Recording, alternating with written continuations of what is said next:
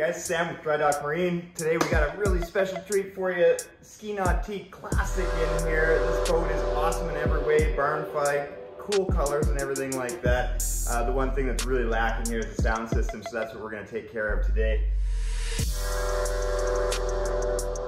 We opened up the seat and saw a little crusty subwoofer. That amplifier is growing legs. But they do have a Bluetooth dongle, so we can get some tunes in here. We're gonna change out change out that sub, we're gonna make something happen and get this old boat like really happy. So yeah, we got the old box out of here. At this old boss badge right here. See what's happened to this box. MDF just does not like water without some kind of treatment on it. The corners of this amp's all corroded. It's actually a two-channel amp that they were using two of the channels to run the speakers in the boat and the other channel they used to run the subwoofer uh, without a crossover. So we're gonna make this thing sound way better. The customer had a couple little Kenwood speakers in there that we're gonna reuse, put up in the front, but in the back, put down a little more pound with some Exile 8-inch woofers and a tweeter in the middle of them there. They're not a brand new woofer, but they are tried and tested. We've been using them for years. They work great.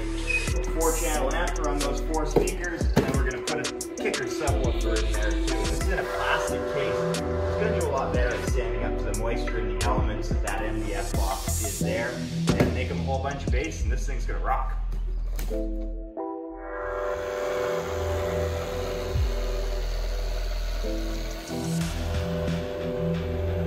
Nice little batch of epoxy resin coated up here and I'm gonna coat this panel so that it doesn't soak up the water. Nice and simple. Just brush it on like paint.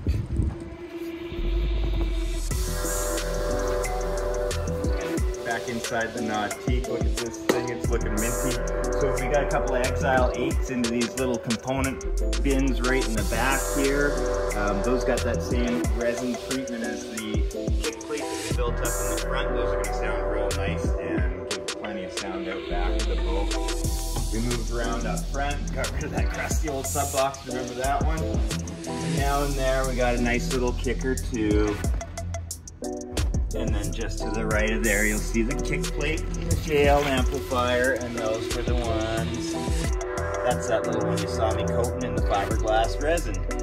And so nice, small, really simple system here, but we got four speakers, we got sound in the front, we got a little bit of bass here, and a Bluetooth dongle, so everything's controlled directly from your phone. There's no head unit in this old boat, there's not even a space for one, so we had to get a little creative with it. And this is what we turned out with.